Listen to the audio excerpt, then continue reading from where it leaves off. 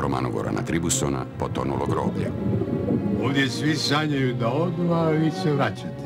Ne znate vi kamo ste se vratili. Ubijanje. Kolonite se te kuće. Dobiti Oskara Jiržimenc. Njezini stanari polako umiru. Sven Medvešek, Barbara Nola. On je živ. On nije više isti. U trileru Mladena Jurana. Što skriva potonulo groblje? Otkrijte u svojim kinima.